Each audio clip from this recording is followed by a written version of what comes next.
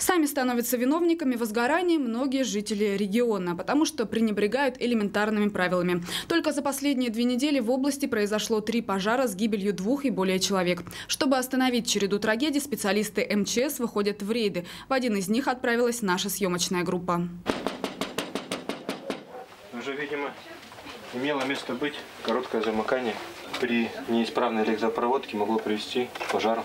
Вот это вот грубое нарушение требований пожарной безопасности. Мы включаем, чтобы постирать. Вы понимаете, что это практически прямая причина короткого замыкания и пожара. Ну, это понятно, ну, нам Что понятно? безвыходное положение. Что нам Это ваша безопасность, безопасность ваших Ну, мы же дома смотрим, конечно.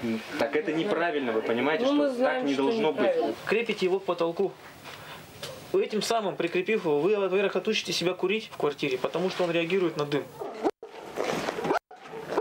Но я вам сразу могу сказать, что это нарушение эксплуатации правил твердотопливных печей. Это надо все замазывать вот так вот, все аккуратно. А температура может вываляться, а вместе с тем то, что там находится. Печь-то надо тоже ремонтировать, если вы ее используете. И на первый раз вам будет вынесено предупреждение. Повыше распишите. За повторное нарушение вы будете оштрафованы.